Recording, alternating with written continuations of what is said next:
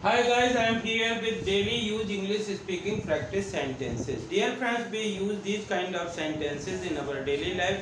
हम इसी प्रकार के सेंटेंस यूज़ करते हैं ये बहुत ही कॉमन सेंटेंसेस हैं यदि इनको आप कैसे इंग्लिश में बोलते हैं या इनको इंग्लिश में कैसे यूज़ करते हैं, जानना चाहते हैं तो प्लीज़ सब्सक्राइब कीजिए पंकज इंस्टीट्यूट ऑफ़ इंग्लिश तथा इसे ज़्यादा से ज़्यादा लाइक और शेयर करिए।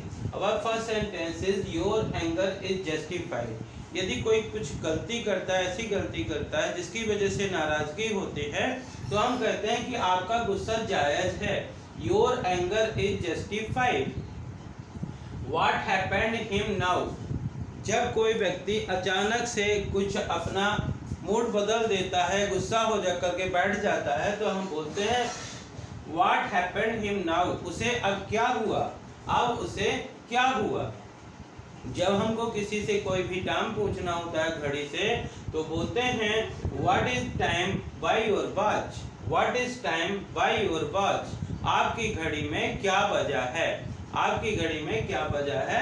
What is time by your watch जब कोई व्यक्ति अपने जीवन के बारे में लिखता है तो वो उसकी अपनी बायोग्राफी लिखता है तो उसको ऑटोबायोग्राफी बोलते हैं।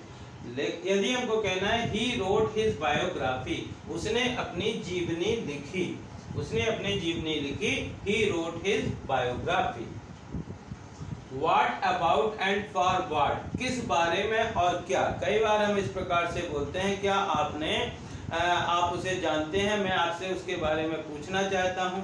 तो आप बोलते हैं what about and for what किस बारे में पूछना चाहते हैं और क्या पूछना चाहते हैं?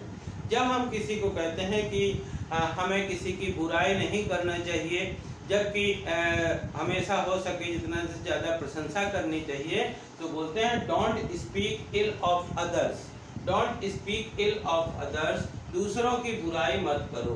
दूसरों की बुराई मत करो। यदि हमको ये कहना है कि काम से जी मत चुराओ कुछ लोग काम कर सकते हैं लेकिन फिर भी नहीं करते टाल देते हैं तो हम बोलते हैं कि डोंट सिर्क वर्क यानी काम से जी मत चुराओ there are different uh, different unique things in this world and waterfall is one of them संसार में बहुत अच्छी अच्छी चीज़ें हैं।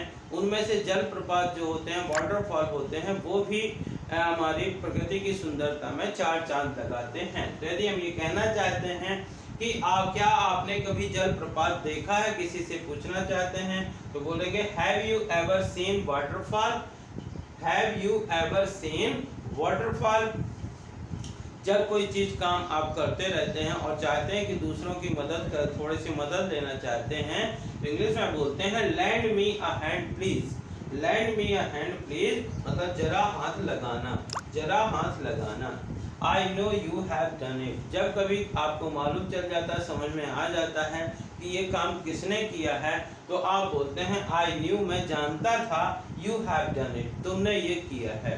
So dear friends, if you practice these kind of sentences, then you would have a lot of vocabulary and what do you want to speak in Hindi, that will come in English. So practice these sentences again and again by reading, by writing or by listening. I hope कि आपको इस प्रकार के ये sentence पसंद आए होंगे। यदि पसंद आए हो तो इन्हें ज़्यादा से ज़्यादा लाइक करिए शेयर करिए। और यदि आप चैनल के लिए नए हैं तो प्लीज़ इसे सब्सक्राइब करिए बेल आइकॉन को प्रेस करिए ताकि इस प्रकार की वीडियो जब भी अपलोड हो तो उनका नोटिफिकेशन आप तक पहुँच सके। Thank you for watching